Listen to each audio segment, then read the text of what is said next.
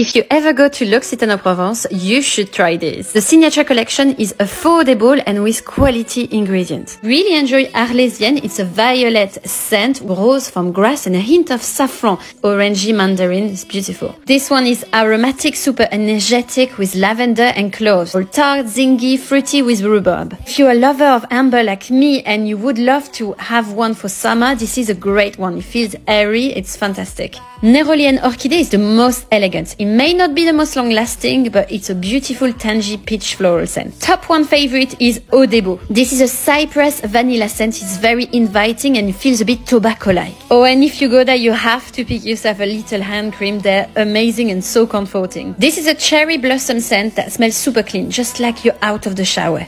Most iconic collection is the Verveine one. This is Verveine and Agrumes that feels very zesty, lemony, invigorating. It's simple, but it lifts up the mood. They also have like a, an